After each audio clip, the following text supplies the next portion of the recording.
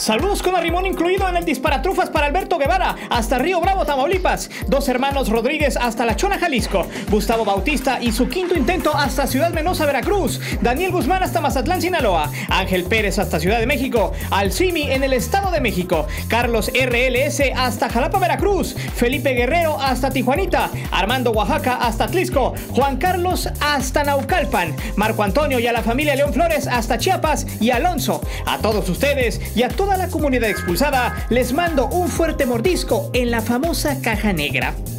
Simplemente en el fútbol mexicano hay maderas que no agarran barniz. Otros simplemente terminan en la ignominia del fútbol y solo quedarán en el recuerdo de lo que pudieron ser y que nunca fueron. Así, ha habido muchos entes futbolísticos que se han echado a perder desde que la fama los ha arropado sin contemplación. Y en la generación de futbolistas sub-17 en 2011 no fue la excepción. La historia de Jonathan Espiricueta es una de ellas. Pocos se han atrevido a hablar de este personaje que sus mejores momentos en su carrera futbolística los vivió cuando este tenía 16 años.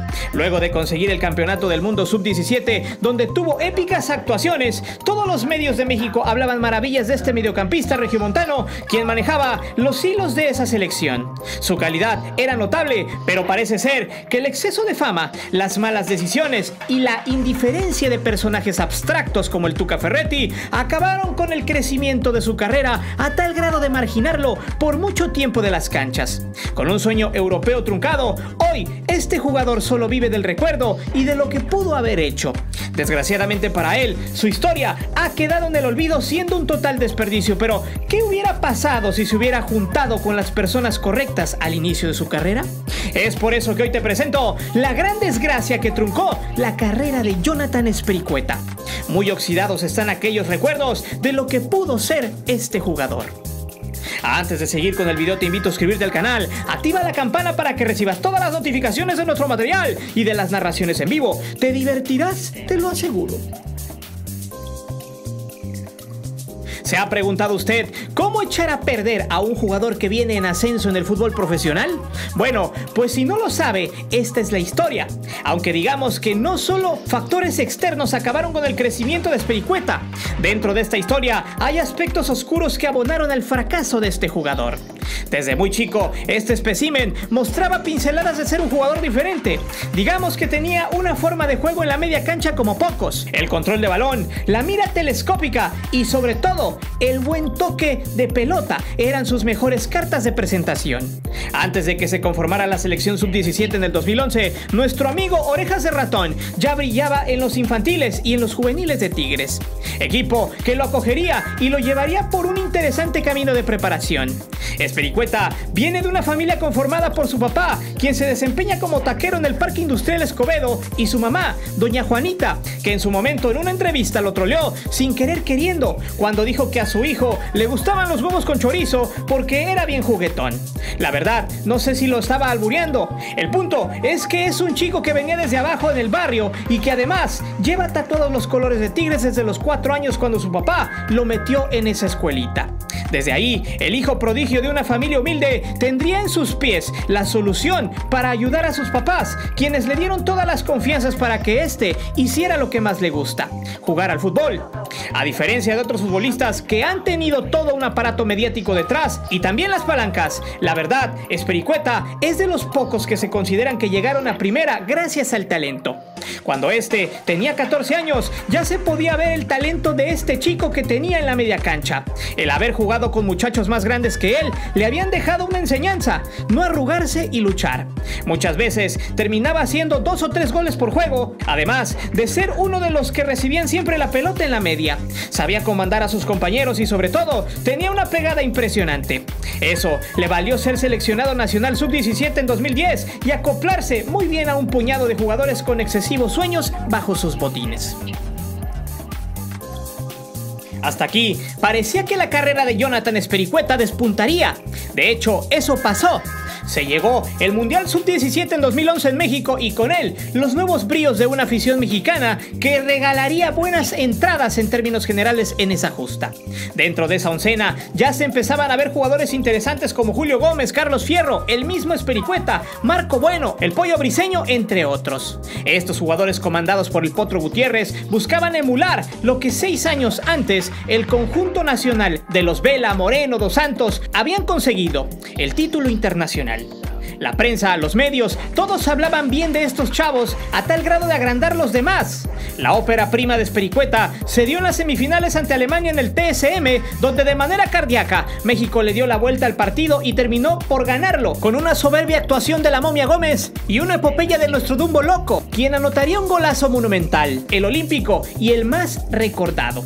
La epopeya se estaba consumando. México volvía a tener 11 jugadores en quien creer y en quien confiar.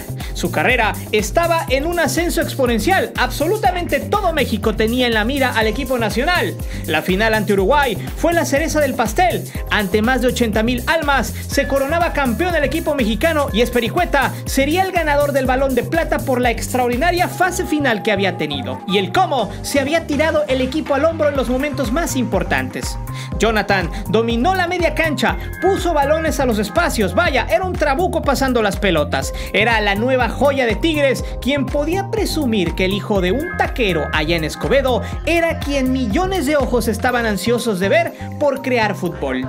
A Johnny le comparaban con varios futbolistas, muchos decían que era el nuevo Giovanni Dos Santos, otros decían que no tenía comparación. El chiste es que el joven mediocampista estaba viviendo sus mejores momentos sin saberlo. Tras el campeonato del 2011, rápidamente los medios pedían una oportunidad para él en los Tigres, y tal fue la presión que el asesino de juventudes mexicanas, alias el Tuca Ferretti, le dijo que lo registraría en el primer equipo, pero que le dejarían claro que no le iba a tomar en cuenta en ningún partido partido por el simple hecho de que tenía 16 años y estaba muy verde. Con esa mentalidad para muchos un tanto mediocre e injusta de parte del Tuca, Espericueta aguantó vara con tal de estar en primera y tomar más experiencia. Claro, después de ser campeón del mundo, lo mínimo que te pueden dar es una oportunidad para mostrarte, pero si de inicio te dicen, ¿sabes qué? Te voy a llevar, pero te aviso que no vas a jugar, el gran momento anímico se rompe. Es como solo dar alas de gratis sabiendo que en la vida vas a probar minutos en el primer equipo. Aún así, este jugador fue disciplinado en ese momento sabiendo que el Tuca no se le debía cuestionar. Quizá esa fue la primera mala decisión que sepultó el crecimiento de su carrera, porque al final cada jugador decide qué hacer y qué no hacer. Para Espericueta era arriesgarse y mostrarse o retirarse y buscar nuevos horizontes. Al final, nada de eso fue fructífero para él y para su carrera. Pareciera que la sentencia del Tuca Ferretti con el chico de 16 años era real. Aunque estaba decidido a demostrar sus cualidades, el dios de San Nicolás simplemente lo dejó en el limbo. De 2011 hasta el clausura 2015, este mediocampista fue borrado prácticamente del primer equipo. Durante ese lapso, se la pasó jugando en las inferiores, sub-20 y sub-22, donde mostró sus buenos dotes, pero el argumento de siempre era el mismo. Le faltaba madurar. Así, se la pasó durante cuatro años queriendo ganarse un lugar cuando menos en la banca con el equipo felino. Pero mientras el Tuca estuviera ahí, sus chances eran nulas. Y poco a poco, sus ganas de jugar al fútbol se iban diluyendo. Pero, ¿cómo es posible que un campeón del mundo no tenga los minutos necesarios en un equipo como Tigres? Las críticas hacia el técnico eran puntuales y muy bravas hasta que empezaron a darse los resultados, los títulos y el buen funcionamiento del equipo. Eso hizo quedar en el olvido a Espericueta, terminando como un solo triste jugador sub-22 que le faltaba madurar y que se quedaría ahí, en el lamento de la mediocridad. Esos cuatro años que pasó, quien fuera el chico maravilla del 2011 y una joya que terminó siendo una bisutería barata. Fueron totalmente de pesadilla porque a pesar de no tener minutos en Tigres, la misma directiva tampoco lo quería soltar. Por cierto, en el mismo 2011, el extinto Jorge Vergara había dicho que si Tigres no quería al chavo, que se lo mandaran, algo que solo fue visto en la directiva felina como un buen chiste. Aún así, el mediocampista siguió jugando en los juveniles y ganando torneos, dando buenas actuaciones, pero seguía verde para el Tuca. También siguió siendo seleccionado y ganó algunas competiciones como el Campeonato Sub-20 de la CONCACAF, el Mundial Sub-20 en Turquía donde se quedaría en octavos, ganaría los centroamericanos en el 2014 y se colgaría la medalla de plata en los Panamericanos del 2015. También jugaría el Torneo Esperanzas de Toulon en 2013, 2014 y 2015. Jonathan Espericueta solo sería una esperanza sin embargo, por allá del 2014 sería prestado al Villarreal B. En esos entonces tenía 19 años de edad y lucía un tanto desesperado. Se dice que ese cambio fue más que nada para darle salida a un jugador que estaba en la angustia por jugar y de parte de Tigres ese sería su regalo para que no se pusiera triste. En esos años se decía también que el Barcelona lo andaba buscando y que el Chicharito lo había recomendado al Manchester United, pero todo solamente fue un rumor. A este jugador nadie lo quería y Tigres no deseaba soltarlo. Era como una especie de arraigo futbolístico que le estaba pegando duro al chico, pero ¿qué había hecho nuestro orejas de ratón para recibir tantos golpes? Algunos dicen que era un tanto indisciplinado y que años atrás había tenido una serie de dimes y diretes con el Tuca. Ninguno de los dos lo aceptó. Su estancia en España solo se dio para jugar nueve partidos y anotar un solo gol. Fue así que para el 2015, Espericueta regresó a Tigres y por fin debutó en un juego ante Toluca en el clausura de ese año, pero su suerte estaba echada en las reservas, donde sería un referente.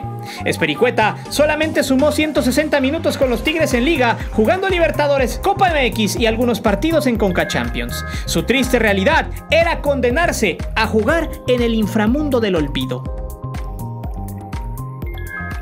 Sin embargo, para el 2017, el Atlético San Luis se lo llevaría a préstamo para jugar en el ascenso. Recién, el Atlético de Madrid andaba sosteniendo una franquicia en la capital potosina. Y Espericueta mostró buenos dotes. Ahí jugó 28 partidos anotando dos tantos. Para el 2018, regresó a la primera división para jugar con el Puebla, donde llegó a préstamo y con opción a compra. Y donde ha tenido cierta regularidad siendo en el 2019, cuando fue por fin adquirido por la franja, aunque su realidad dicta otra cosa. Con los poblanos ha jugado muy poco, inclusive no ha terminado algunos encuentros y ha sido criticado. Sin embargo, quizá esa baja de juego pueda explicarse con todo el viacrucis que ha tenido para recorrer durante su carrera. Estar secuestrado por un club sin las chances necesarias para despegar poco a poco va golpeando el estado anímico en un futbolista. El querer salir pero no poder hacerlo porque ese equipo no te quiere vender. El técnico tampoco te quiere. En pocas palabras, eres un apestado, pero estás ahí porque ellos son dueños de ti. Esa es una de las cosas más horrendas para un futbolista. A eso se le suma que la misma afición de Tigres casi siempre se han mofado de su destino. Un jugador que no tuvo oportunidades necesarias. Algunos dicen que es un jugador que no dio el ancho y que no era para primera. Otros creen que las personas en las que confió lo echaron a perder y le destruyeron su carrera. Lo cierto es que por ahora, Jonathan Espericueta, a sus ya casi 26 años de edad, es el triste ejemplo de un futbolista demacrado por los expertos del fútbol. Disociado mentalmente, muy lejos han quedado aquellos destellos de buen futbolista en la media cancha, que tenía la onza para manejar los tiempos y el buen disparo de media distancia. Víctima y cómplice de las malas decisiones y de personajes anticantera como el Tuca o como su representante, Matías Bunge, quien ha comido gracias a sus desgracias y a una trayectoria tan desgastada de una joya malbaratada, de una promesa que nunca fue y nunca será. Es por eso que yo te pregunto, ¿el fracaso de Jonathan Espericueta es culpa del Tuca Ferretti? Déjame saber tus respuestas aquí abajo. Recuerda que aquí leemos todos los comentarios y no olvides suscribirte al canal y de activar la campana de notificaciones. Mi nombre es Guillermo Antonio, nos vemos hasta la próxima.